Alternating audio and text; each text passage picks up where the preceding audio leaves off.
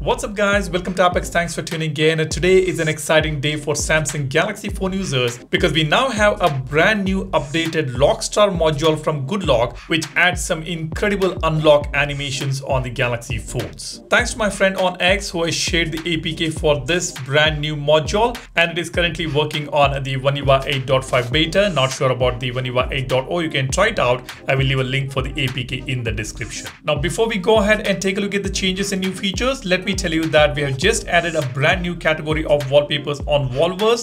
This is called Fluffy. More than 80 new wallpapers have been added. They're crisp and clear fluffy wallpapers. You can go ahead and check them out. They're pretty cute and some of them are monsters as well. And I'm pretty sure you're going to love them. Go ahead, download the wallpaper application Wallverse and don't forget to rate it 5 star on Play Store. That encourages me to keep coming up with more and more contents, more and more wallpapers for you guys. So go ahead, rate the app on Play Store. And while you do that, of course, subscribe to the channel, become a part of AppX community, give this video a like if you find this video informative. Now let's dive right into the video. I have already installed the updated Lockstar module. As you can see, this is the latest version 8.5.00.8. And in the changelog, you can see there are two important points newly supported on UI 8.5 added new unlock animation effects and added support for manual AOD brightness adjustments. And in the second point, it says supported on 8.0 or higher, adding text feature. So that might be available on the 8.0. You can try it out. I will anyway showcase that to you in this video. And then there are some bug fixes, fixed fingerprint effect issue, added adjustment for widget corner rounding. So two important bugs which have been fixed with this all new update. Now let's go ahead and open Lockstar module. Let's try this from the lock screen itself. I'll press and hold on the lock screen and unlock the phone and here we will see Lockstar. It's still buggy, sometimes it disappears. Now let me tap on Lockstar here and here you go. We have got the brand new unlock animation option right over here. Let me tap on this and here it is. We have got the animation types and the animation is demonstrated right here. Let me show you the options that we have. We have got slide, expand, spread, wave, warp, ripple, mosaic, fade, wiper, paint, glitch. Now these are the options that we have and for each option we have further customization options right below that. For example, for slide, we have got deeper customization. We can customize it from down. We can set it to up, left, or right. And you've got the slider using which you can adjust the animation time. If you set it to max, it is going to be very, very slow. If you set it to the center, eh, this is how it looks and uh, this is where it was by default. So this seems to be pretty good, the default one. And then we do have interpolator. You can tap on default option, ease in. You can see that, that's how it looks. Then we have ease out, linear, bouncer, and custom. So you can also customize this based on uh, your requirement. So this is pretty cool. It's a very deep customization now we have for the lock screen FX, which you're not going to see on any other Android phones or iPhones. So that is the beauty of Samsung Galaxy phones. Now let's go to the second one, expand.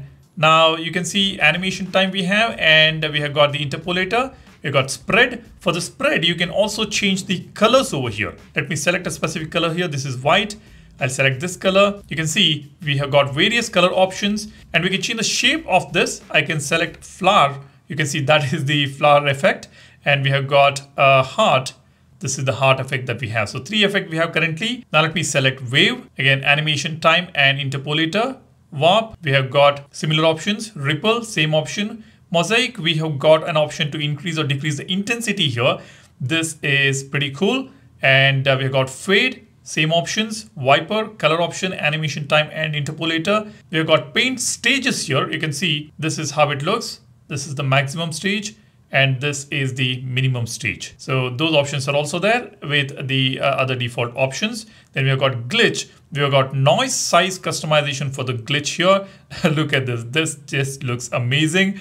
I will just reduce it to zero and I'll increase it to max That's how it looks. This is just crazy guys. I'm really surprised to see this on the Galaxy phones. I did expect something new to come on the Lockstar, but this is next level customization we now have on the Lockstar. Now we have looked at the unlock animations. Let's go ahead and check out the other other features that we have. Let's go to the always on display. Now you can see we've got two additional options here add text, which is also there in the previous page uh, on the lock screen customization. I'll come to that in a bit.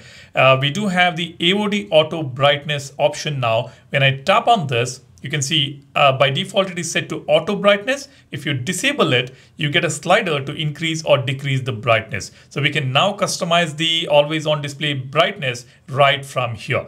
Now I'm not someone who use the always on display, so I will just keep it to auto brightness just in case if I set it, let it be on auto brightness.